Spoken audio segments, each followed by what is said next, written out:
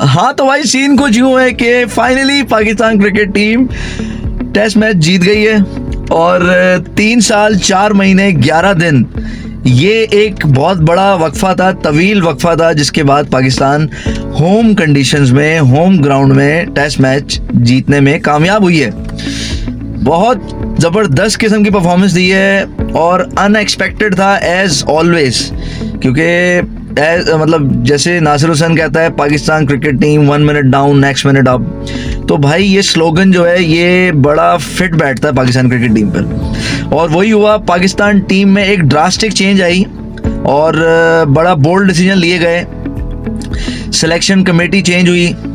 उन्होंने bold decision लिए pitch से रिलेटेड स्क्वाड से रिलेटेड बाबर आज़म को फ्री किया, उन्होंने रिलीज़ किया, शाहिन शाह को नसीम शाह को रिलीज़ किया, सरफराज को रिलीज़ किया, चार प्लेयर्स की जगह जो है वो उन्होंने चार प्लेयर्स का एडिशन किया, जो कि genuine I am saying again genuine players select किए फोर डे क्रिकेट के फाइव डे क्रिकेट के कामरान गुलाम, नोमान अली, साजिद खान और एक एडिशनल जूनियर बंदा उन्होंने सेलेक्ट किया, मेहरान मुमताज़। चार बंदों को सेलेक्ट किया और जिन चार बंदों को रिलीज़ किया, उनकी जगह। और देखें रिज़ल्ट आपके सामने है यार। इतना कुछ समझाया है, लेकिन नहीं समझ में आई। अब जाके देर आए, दुरुस्त आए finally good thing was that के बहुत बड़ा डिसीज़न था जो पिच से रिलेटेड था।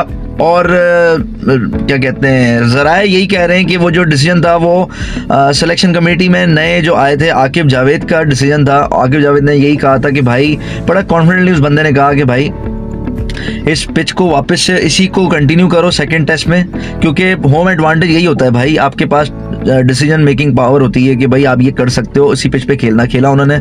और उसी पिच पे खेला ड्राई एक विकेट रखी, और ग्रास हटाई बिल्कुल क्रैक्स हल्के हल्के रखे स्पिन ट्रैक बनाया।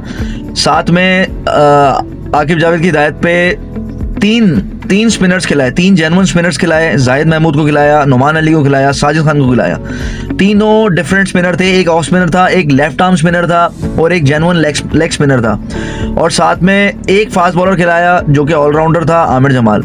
तो बाहिर जो है, वो एक लग रहा था शुरू में कि यार ये क्या चुस मारी इन्होंने, कि वापस से ये कोई चवल मारी इन लोगों ने। लेकिन लेकिन भाई, लेकिन, क्या ज़बरदस्त बैटिंग की कामरान गुलाम ने। डेब्यू ड्रीम डेब्यू था उस बंदे का। उस बंदे ने इतनी मेहनत की बेचारे ने, चार से पाँच साल कंटिन्यू कंटिन्यू उसने परफॉर्मेंस दी डोमेस्टिक क्रिकेट में। फाइनली वो टीम इलेवन में आए और आते ही अपॉर्चुनिटी को ग्रैब किया। हंड्रेड की डेब्यू पे। दूसरी तरफ़ बॉलिंग पे साजिद खान ने अपना कम किया। लास्ट ऑस्ट्रेलिया में सीरीज़ हुई थी, उसमें खेले थे ये नुमान अली ने कम किया। अल्लाह ने बहुत बड़ा कर्म किया इन दोनों स्पिनर्स पे कि उनको खिलाया। और इन्होंने परफॉर्मेंस दी। भाई पूरे बीस विकेट होती है ना? हर इनिंग में दस विकेट होती है। इंग्लैंड की बीस विकेट स्पिनर ने निकाली और इन दोनों स्पिनर्स ने ही निकाली नुमान अली ने और साजिद खान ने।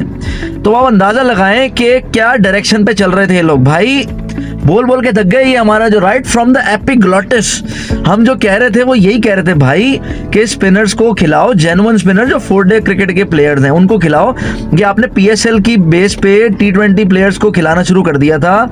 ज़बरदस्ती आप नसीम शाह, शाहीन शाह को खिला रहे थे। ठीक है, अबरार को खिला रहे थे। ये थक चुके हैं, ये लंबे मैच के प्लेयर नहीं है अभी फ़िलहाल। आप उनको खिला रहे थे। अब आप देखें जेनवन बॉलर लेके आए, उन्होंने आपको विकेट निकाल के दी, उनको फ्रेंडली पिचेस दी उनको स्पिनर फ्रेंडली पिचेस दी, उन्होंने आपको डिलीवर करके दिया यार। आप देखें क्या ज़बरदस्त डोमिनेंसी नज़र आ रही थी बॉलिंग में पाकिस्तान की। नोमान अली यार प्योर मैरिट यार pure merit Sajid Khan pure merit. ये दोनों डोमेस्टिक स्ट्रक्चर में परफॉर्मेंस दे के ऊपर आए हैं यार। Hats off to Mohammad Wasim, जो कि अपने टाइम पे जब वो सेलेक्टर था, वो इन लोगों को लेके आया था। नुमान अली को लेके आया था, साजिद खान को लेके आया था, कामरान गुलाम को भी लेके आया था, लेकिन कंटिन्यूसली इनको चांस नहीं मिल रहे थे। अब मैं उस उस डेप्थ रियलिटी में नहीं जाना चाह रहा कि क्यों नहीं खिला रहे थे। बाबर आज़म का मसला था, और किसी और के मसले थे। वो छोड़ दो, भाड़ में डाल, भाड़ में जाई वो चीज़। Good thing is that Pakistan match जीता है रिज़ल्ट आपके सामने है यार। ये देखो, आपने चेंजेस की रिज़ल्ट आपके सामने। पूरी दुनिया में यार होम कंडीशन का एडवांटेज लिया जाता है। यहाँ साला पाकिस्तान में वो ज़बरदस्ती वो फट्टा विकेट बना रहे थे फास्ट बॉलरों की अंतड़ियाँ सड़ रही थी कि वो जान मारी जा रहे थे, वो मज़े से खेली जा रहे थे। अब आप देखो रिज़ल्ट आपके सामने है यार। तो बहरहाल बड़ा मज़ा आया मैच देख के इंटरेस्टिंग मैचेस थे।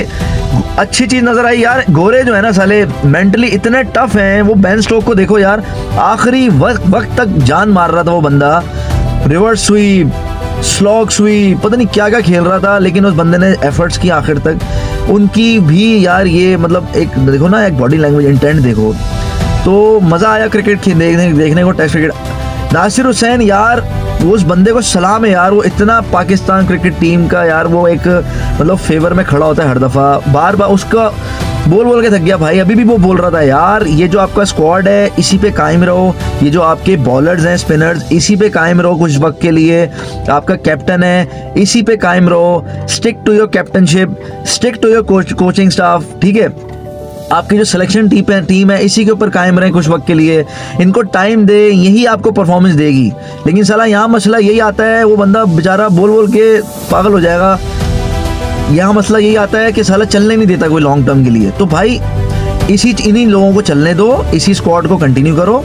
यही रिज़ल्ट निकाल के देंगे, जैसे अभी निकाल के दिया है। I know it's too early to discuss but यही लोग हैं जो आपको रिज़ल्ट निकाल के देंगे।